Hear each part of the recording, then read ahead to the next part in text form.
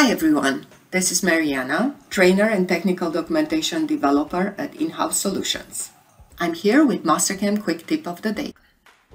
In this quick tip video, I'm going to demonstrate how to set toolpath defaults while creating a toolpath.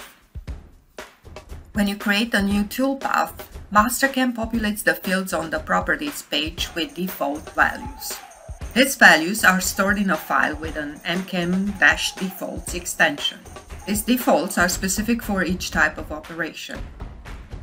The first time you create an operation of a specific type in Mastercam session, the default values are read from this default file. Then each time you create another operation of the same time, Mastercam uses the values from the previous operation.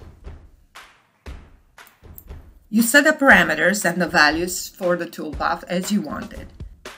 Once you set up the parameters as you wanted, you can save them as defaults.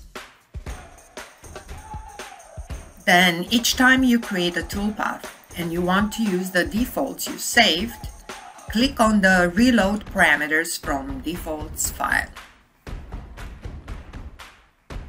This concludes the quick tip of the day. Thank you for watching.